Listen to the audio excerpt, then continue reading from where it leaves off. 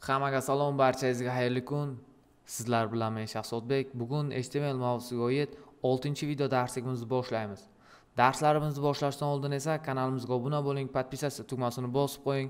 Savollaringiz bo'lsa kommentda yozib qoldirishingiz mumkin. Ha, aytgancha videoga like bosishni unutmang do'stlar.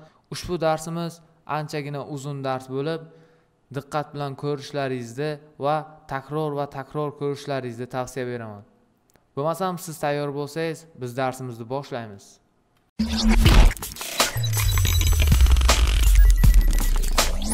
Bugungi darsimizda sizlar bilan html ranglari haqida gaplashamiz. Html ranglari oldindan belgilangan rang nomlari yoki rgb hex hsl rgb alfa hsl alfa qiymatlari yordamida belgilanadi. Rang nomlari htmlda rang nomi yordamida ham belgilash mumkin. Faqatgina rangning kodi emas aytib o'tganimdek rangning nomi bilan ham belgilash mumkin. Hozir sizlar bilan brauzerlar tomonidan qo'llab quvvatlanadigan 140 ta standart rang nomlarini ko'rib chiqamiz. Misol uchun htmlda e, kod yozish vaqtida Э, rangning nomidan ham foydalansak bo'ladi yoki bo'lmasam rangning kodidan ham foydalansak bo'ladi. Misol uchun qora rangdan foydalanmoqchi bo'lsak shunchaki black deb yozamiz. Yoki bo'lmasam hashtag oltita nol kiritamiz. Yoki bo'lmasam keling blue violetda ushbu rangdan foydalanmoqchi bo'lsak e, html kod yozish vaqtida blue violet deb yozamiz. Yoki bo'lmasam hashtag e, sakkiz a ikki b e, ikki deb kodini kiritamiz. Hozir bu yerda biz 140 ta rangni ko'rib chiqishga vaqtimiz yetmaydi. Shuning uchun sizlarga brackets dasturida misollar yordamida tushuntirib berishga harakat qilaman. Hozir ushbu sarlavha matnlarimizga e, fon rangini beramiz va sarlavha rangini berib ko'ramiz.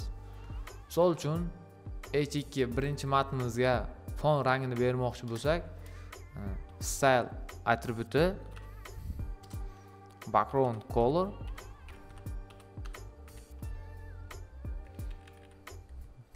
color e, misol uchun red va keling endi padding beramiz. Ozgina aniqroq ko'rinishi uchun. Piksel. Va rangini ham color white beramiz endi o'ziga. Mana bunday keling ikkinchi sarlavhamizga shunchaki o'zini rangini o'zgartiramiz.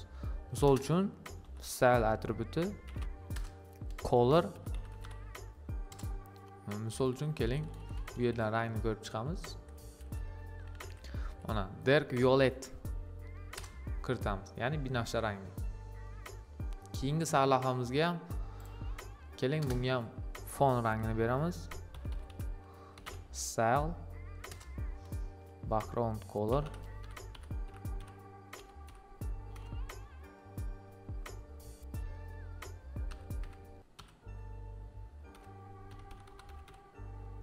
Color. Misol uchun kodini kiritamiz biron bir rangni e, qizil rangni kiritmoqchi bo'lsak qizil rangning kodini yozamiz. Hashtag ff va to'rtta nol mana bunday. Keling buni ham padding beramiz ozgina. Ko'rin aniq ko'rinish uchun 10 piksel. Color. White ko'rib turganingizdek htmlda ham rangning nomidan foydalansak bo'ladi ham rangning kodidan foydalansak bo'ladi. Har ikkala variant ham qo'llab quvvatlanadi keling misol uchun e, p paragrafga rang bermoqchi bo'lsak bunga ham xuddi shunday style.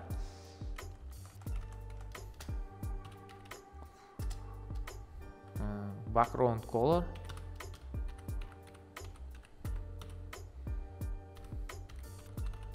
Color misol uchun keling yellow. Yoki bo'lmasam yellow green yashil rangni beramiz. Mana bunday. Endi padding qo'shamiz ozgina aniqroq ko'rinishimizga. Padding 10 piksel. Color white.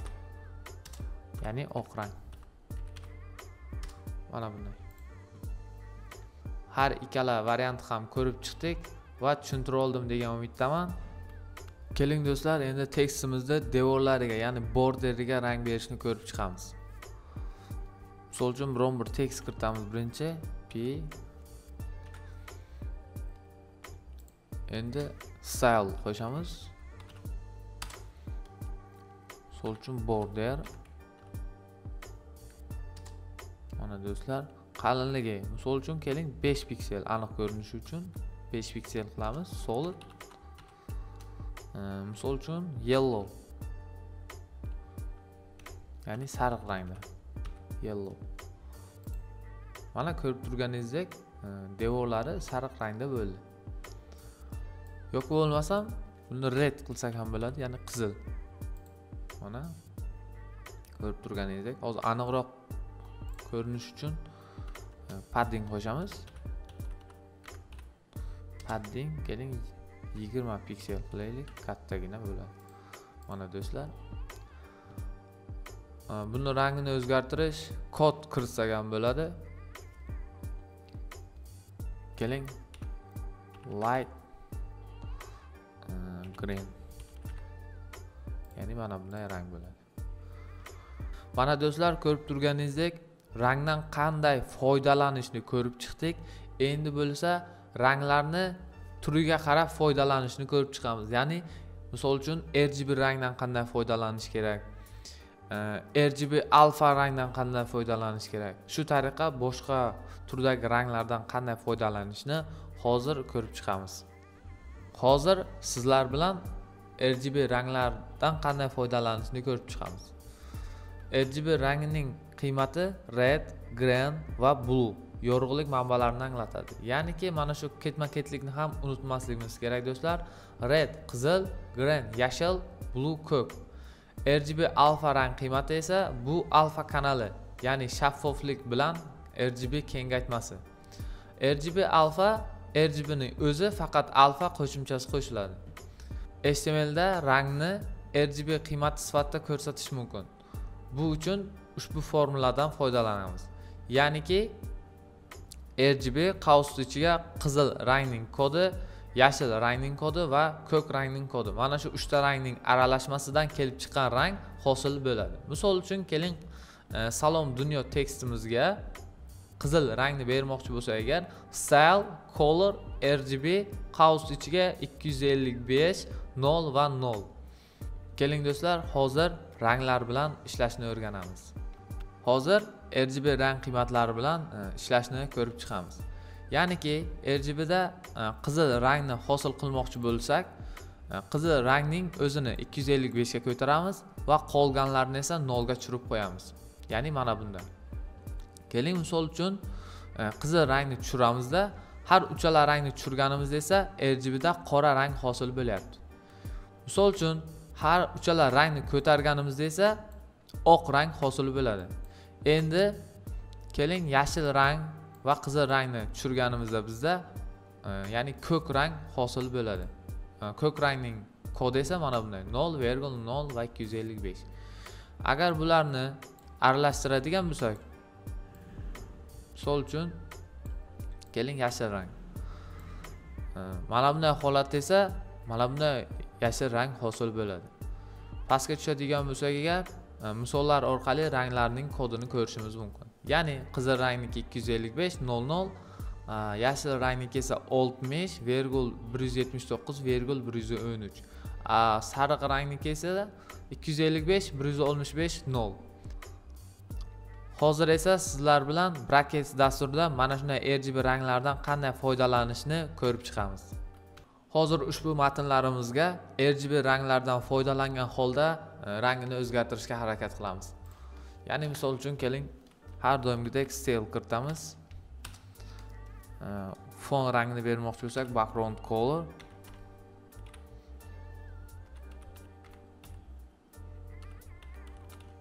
Background color.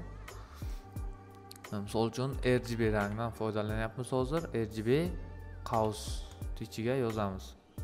Qizil rang bo'lsa agar ikki yuz ellik besh vergul nol vergul nol. Mana do'stlar ko'rib turganingizdek e, rang o'zgardi. Endi e, unga color beramiz ya'ni qizil sarlaha rangini qora rangini hozir sarlaha rangini o'zini o'zgartiramiz. Keling color. Mana bunday. E, Rgb qavs ichiga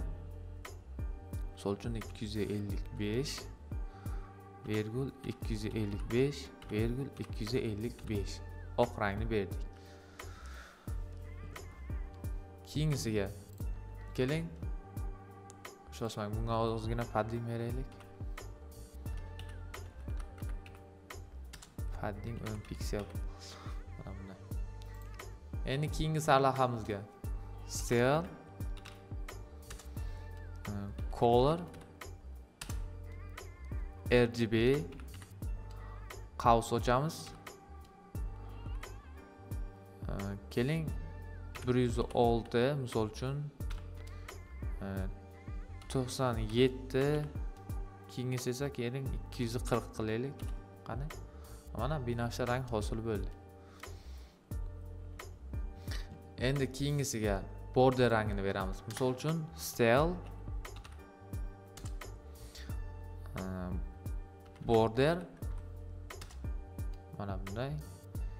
6 piksel solid. Rgb qavs ichiga. Misol uchun keling. 100 vergul. 140 vergul. 255 qilamiz. Mana bunday. Mana ko'rib turganingizdek o'zgardi. Ozgina padding qo'shsak aniqroq ko'rinadi bizga. Padding 10 piksel. Mana do'stlar endi keyingi matnimizga rangini o'zgartiramiz. Html ranglari matnni rangini o'zgartirib ko'ramiz. Ya'ni style um, background color orqa fon fon rangini beramiz. Ya'ni rgb qavs ochamiz. 100 vergul 100 vergul 100 mana ko'rib turganingizdek kul rang hosil bo'ldi. Ozgina padding beramiz bunga. Ham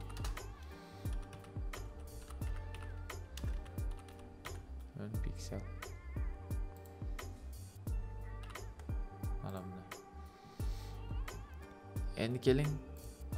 Paragraflarga rang berib ko'ramiz. Cell background color fon rangini beramiz. Rgb qavs ichiga. Misol uchun 0 vergul 255 vergul 100 qiladigan bo'lsa agar mana bunday rang hosil bo'ladi endi ozgina padding beramizda. 10 piksel qilib endi color beramiz. Ya'ni matnni o'ziga. Color. Yana rgb qavs ichiga yozamiz. Misol uchun 0 vergul 0 vergul va 200 mana bunday tarzda. Mana ko'k rang hosil bo'ldi. Keyingisiga rangni o'zini beramiz. Ya'ni style beramiz bunga ham birinchi. Color. Misol uchun rgb yana qavs ochamiz. Ichiga yozamiz. Misol uchun keling 100 qizil rang uchun bu. Bunisi yashil rang uchun nol xillik yashilli va ko'k rang uchun. Keling bunga ham 100 qilamiz. Aniqroq ko'rinmadi. Shuning uchun buni ham nol qilamiz. Va buni 250 qilamiz. Ya'ni qizil rang beryapmiz. Mana bunday ko'rib turganingizdek rgb ranglardan mana shu tarzda foydalanamiz. Endi esa e, rgb alfaga o'tamiz. Rgb alfa rang qiymatlari alfa kanal bilan rgb rang qiymatlarining kengaytmasi bo'lib bu rangning shaffofligini belgilaydi. Ya'niki biz rgb ranglar sistemasiga shunchaki alfaning kodini ham qo'shib qo'yamiz xolos. Rgb alfa qizil rangning kodi yashil rangning kodi ko'k rangning kodi va shaffoflikning kodini kiritamiz. Misol uchun e, salom dunyo tekstimizga e, ham rangini berib shaffofligini kiritmoqchi bo'lsak agar e, sal color rgb alfa ikki yuz ellik besh nol nol va nol butun besh. Ya'niki alfamiz nol butun bilan aniqlanadi. Keling hozir rgb alfa ranglar sistemasini ko'rib chiqamiz. Rgb alfa rang qiymatlari. Rgb alfa rang qiymatlari alfa kanal bilan rgb rang qiymatlarining kengaytmasi rgb alfa rang qiymati quyidagicha belgilanadi. Ya'niki e, rgb alfa qavs ichiga qizil rang yashil ko'k va alfa. Hozir Э, alfa parametr bu nol butun nol bilan to'liq shaffof va bir butun nol esa umuman shaffof emas. Hozir rgb alfa rang qiymatlarini ko'rib chiqamiz.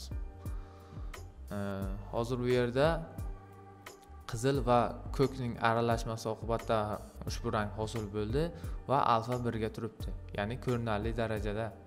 Ushbu rangni biz bemalol ko'ryapmiz. Endi buni shaffofligini yo'qotamiz. Misol uchun keling e, nol butun uch ya'ni ushbu rangning shaffofligi mana shunday ko'rinishga kelyapti. Pastga jadvalga qaraydigan bo'lsak agar e, bizga e, raqamlar orqali misollar yordamida tushuntirib o'tyapti. Ya'niki rgb alfa 255 99 71 0 umuman shaffof emas ushbu rangimiz. E, keyingisiga esa rgb alfa 255 99 71 0 butun 4 salgina shaffof ya'ni ko'rinyapti bizga ozgina bo'lsa ham. Va to'liq ko'rinishi esa 1 yarim ko'rinishi esa nol butun olti ya'ni nol butun besh qilsak ham bo'ladi. Hozir brackets dasturida rgb alfa ranglardan foydalanamiz. Hozir ushbu sarlavha matnlarimizga rgb alfadan foydalangan holda rang berib ko'ramiz. Keling sal kiritamiz har doimgidek. Background color fon rangini beramiz.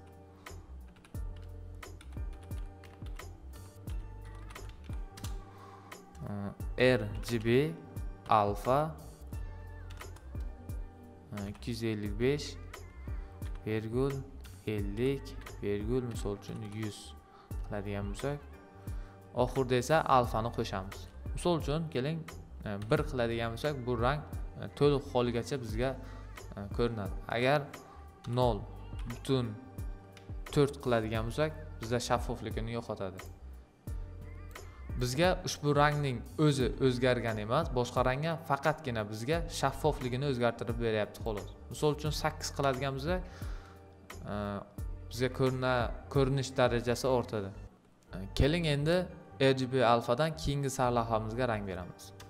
Style. E, color beramiz bunga. Rgb alfa.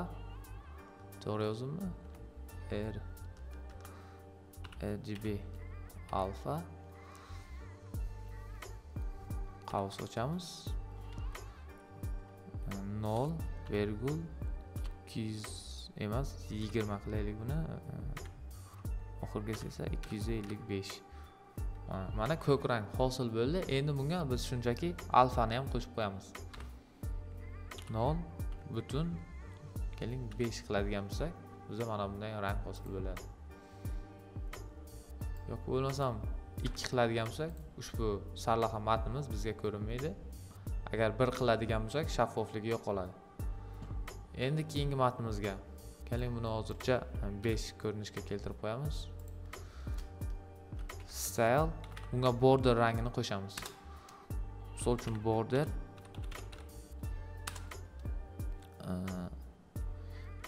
besh piksel solid va rgb rgb alfa qavs ochamiz nol virgul bir yuz ellik virgul yuz qilamiz va bunga alfani qo'shib qo'yamiz. Nol butun to'rt qilamiz misol uchun mana ko'rib turganingizdek. Yo'q bo'lmasam buni bir qiladigan bo'lsak bizga ko'rinmas holatga keladi. Shuning uchun agar bir qiladigan bo'lsak to'liq holatga ko'ramiz ushbu rang. Keyingisiga ham rang beramiz. Style color rgb alfa 255 virgul 0 virgul 100 va 0 butun 5 mana bunday holat agar 8 qiladigan bo'lsak ushbu tekstimiz bizga aniq ko'rinadi. Agar 2 qiladigan bo'lsak ko'rinish nimasi pasayib ketadi. Keyingisiga ham style color 250 yo'q shoshmang shoshmang shoshmang. Rgb alfa 255 virgul 0 virgul 0 e, virgul 1 keling. Mana ushbu qizil rang hosil bo'ldi. Agar shaffof holatga keltiradigan bo'lsak 0 butun 2 qiladigan bo'lsak bizda mana bunday ko'rinish hosil bo'ladi. Yoki bo'lmasam 7 qiladigan bo'lsak mana bunday ko'rinish hosil bo'ladi. Mana ko'rib turganingizdek rgb alfadan ham foydalanishni ko'rib chiqdik. Hozir sizlar bilan html hex ranglari bilan tanishib chiqamiz. Htmlda rangni 16 darajali qiymati quyidagi shaklda ko'rsatish mumkin. Ya'niki uh, hashtag r ikkita r ikkita g va ikkita b. Bu yerda uh, r qizil rangni beradi g yashil rangni beradi b esa ko'k rangni beradi. Masalan hashtag ikkita f va to'rtta nol. Qizil rang bilan ko'rsatiladi. Chunki e, qizil eng yuqori qiymatga ega f. Qolganlari esa eng pastki qiymatga nolga teng. Hozir esa pastdagi jadval bilan hex e, rangni hosil qilishni o'rganamiz. E, misol uchun qora rang hashtag bilan oltita nol. Yashil rangni ko'taradigan bo'lsa agar e, hashtag nol nol ff va nol nol. Agar bizga ko'k rang kerak bo'ladigan bo'lsa agar oxirgi ikkita harfini f ga ko'taramiz. Agar bizga qizil rang kerak bo'ladigan bo'lsa agar birinchi ikkita harfini e, f ga ko'taramiz. Pastda esa jadvallar yordamida ranglarning kodini ko'rishimiz mumkin. Bu yerda qizil rang uchun f va to'rtta nol yashil rang uchun esa uch cb e, uch yuz yetmish bir. Sariq rang uchun esa ff a besh yuz. Hozir mana shu hex ranglardan foydalangan holda bracketsda e, matnlarimizga rang berishni ko'rib chiqamiz. Hozir ushbu tekstlarga e, ya'ni kodlarga hex yordamida rang beramiz. Keling. Style background color.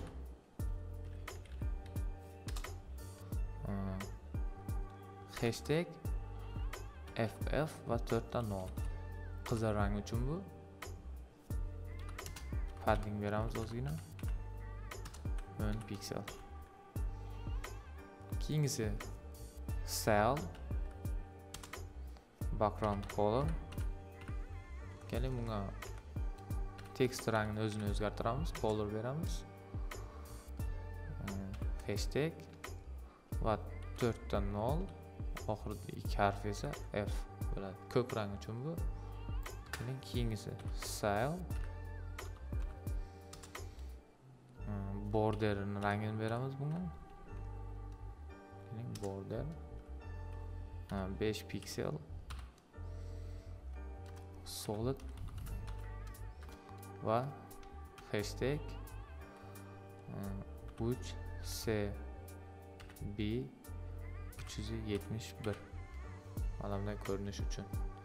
Ozgina padding qo'shamiz bunga. Ham pks keyingisi style background color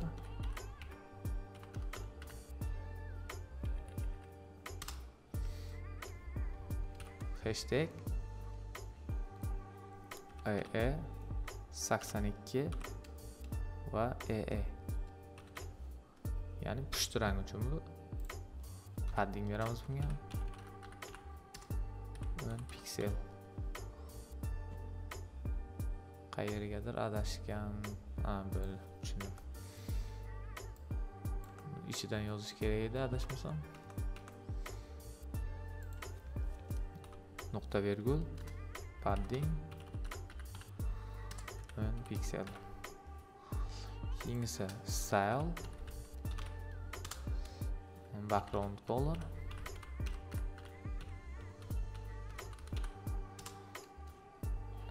Hashtag.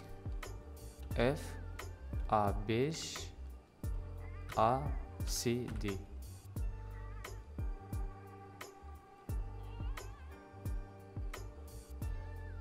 Yo'q yo'q uzr adashib ketibman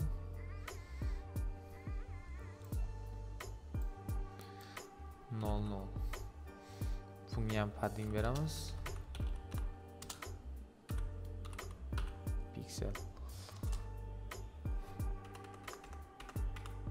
keyingisiga style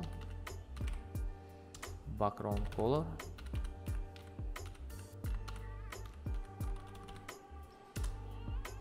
Hashtag.